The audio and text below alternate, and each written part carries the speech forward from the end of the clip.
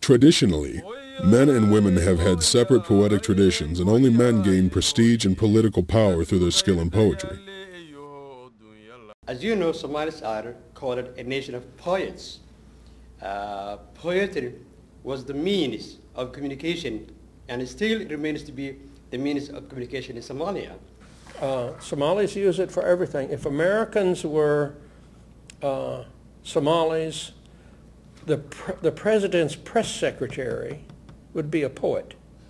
He wouldn't get up and talk to the press. He would, he would get up and sing Gabay. There should be a reason why the poem is conducted or should be conducted.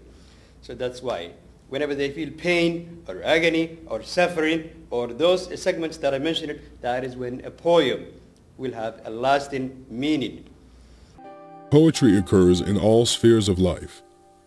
Even the government hires poets to praise its achievements and to point out its shortcomings. The most famous Somali poet is Sayyid Mohammed Abdullah Hassan, a national hero as a warrior and as a poet.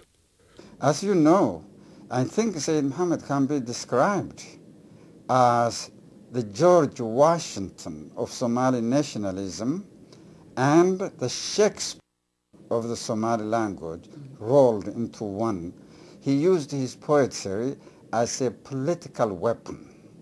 It was a medium of communication like what they call uh, official bulletin. Somali women's poetry, known as Burambur in the Somali language, is performed at wedding ceremonies, community celebrations, and holidays.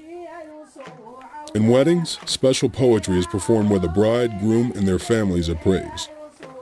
Also, women's poetry is recited to bless newborns.